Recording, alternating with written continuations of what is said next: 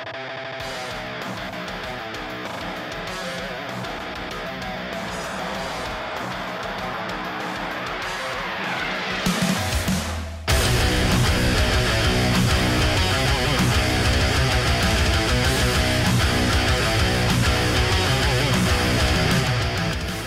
there, I'm Denis, and I sing in Asking Alexandria. And I'm James, and I'm the drummer. During our touring career, we've managed to uh, bring tattoo artists out on the road. Uh, first off, we brought a guy called Sean Z. He's like our American tattoo artist.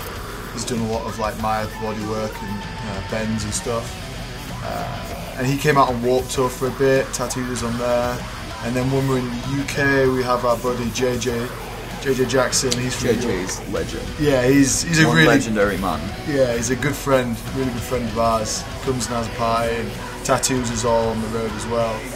If, if we're talking getting tattooed on the road, it's usually you don't have that much time, you know. Like you just you just wash it all out and just go on stage. Yeah, it sort of. I started off my first tattoo, which was this one on my arm.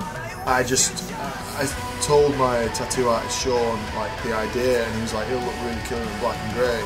So I got done in black and grey, and then you know, I don't know, I just sort of stuck with, me. I was like, "Oh, I kind of prefer it like this. I think I'm just gonna go ahead and do all over in black and grey and not bother with colour. You know, I think it's uh, you never clash with anything. no colours clash when you're all when you're covered in just black and grey. Uh, so yeah, I don't think I'm ever gonna get a colour tattoo. That was the second tattoo. My first tattoo was uh, my chest piece.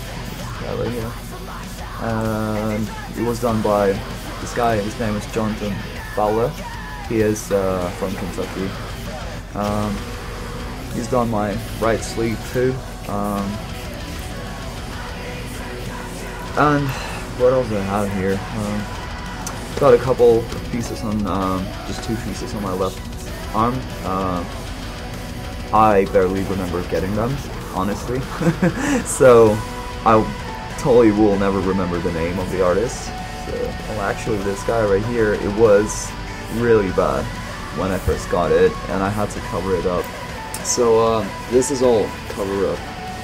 It was right here. It was like, if you, if you can see it, there was like a little skull, a little dagger, all these ribbons, and all this stuff right here. Our new album, The Black, just came out March 25th. Uh, it's sick. It's doing awesome. People are loving it. We've got uh, we've got a few tracks out at the moment. Um, we released the Black earlier this year. We've also released Let It Sleep. Both these tracks are doing awesome. You know, crowds have been loving it. Um, it seems that uh, everything's kicking ass. You know, everything's going well.